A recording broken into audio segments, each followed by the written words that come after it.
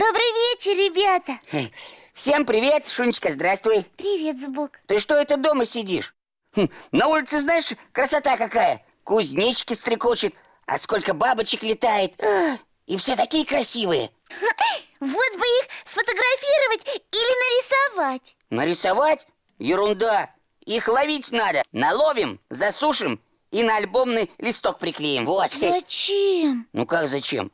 Затем, чтобы на стенку повесить Представляешь, придет зима, снегу нападает А мы будем дома сидеть и летними бабочками любоваться, а?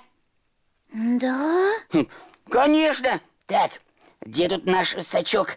А, берем его скорее и бежим на луг бабочек ловить, пока солнце не зашло Так, а мне кажется, что никакого сачка брать не надо И бабочек ловить тоже не надо Здравствуйте, друзья Здравствуй, енотыч Здравствуй, енотыч А почему это не надо? Ты что, бабочек не любишь? Очень люблю. Мы с Горошком моим огородным пугалом даже разговаривали о них вчера. И он такую интересную историю рассказал.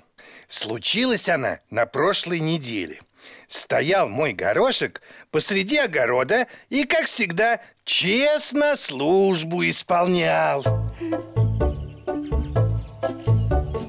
Да я пугалом служу, огород свой сторожу. И никто в мой огород не залезет, не зайдет. Знает каждый огурец, я для них родной отец. И для тыковки большой тоже я отец родной. Ой, стой! Кто идет? Это я, муравей-мураш Ты зачем в огород заполз? Хочешь урожай испортить? На помидорчики и огурчики напасть? Что ты, конечно нет Просто тут к моему муравейнику дорога ближе Ну и что?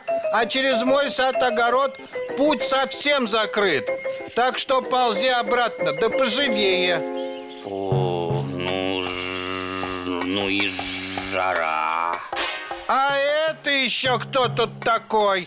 Это я жук-жужик Ты что это на листок сел? Ты же его испортить можешь. А, я Дорогое пугало Листок вон какой большой и прочный. Как же я его испорчу? Все равно улетай А то я сейчас птиц позову Они быстро с тобой расправятся. Ох, ну и порядки в этом саду-огороде И правда надо поскорее убираться По добру, по здорову. Мы усталости не знаем, мы порхаем целый день. Над поляною и садом, позабыв про сон и лень. Отдохнем немного на цветах И опять порхаем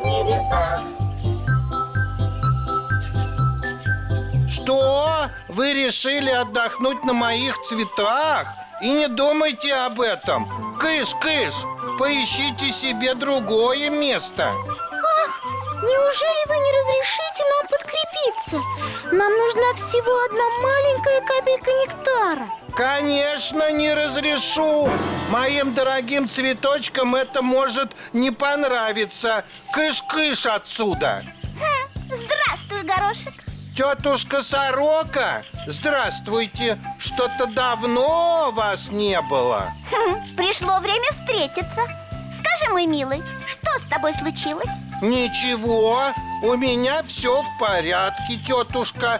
Голова на месте, руки-ноги тоже. И одежка, что надо. Хм, я не об этом. Скажи, неужели ты хочешь остаться один на всем белом свете? Я? Почему вы так решили, тетушка Сорока? Я потому так решила, что ты нарушаешь самое главное правило всех, кто живет на земле А что это за правило такое? Я о нем не слышал Хм, тогда послушай Всех, кто живет рядом, нужно любить Не отдохнувший жук или бабочки, не подкрепившиеся нектаром, могут погибнуть И тогда мир вокруг тебя не будет таким радостным и красивым. Услыхал это мой горошек и понял. Права была тетушка Сорока Ко всем, кто живет рядом, действительно нужно относиться с любовью и очень бережно. Иначе может случиться так, что ты останешься совсем один, без друзей и соседей. Знаешь, Зубок, давай лучше не будем брать сачок, а? А как же бабочки? А бабочек мы лучше нарисуем. Ведь ты сам знаешь, какие мы с тобой отличные художники. Ну, кто же этого не знает? Только рисовать вы будете завтра. А сейчас уже отдыхать пора. До свидания, мальчики и девочки. До свидания, ребята. Всего вам хорошего и счастливых снов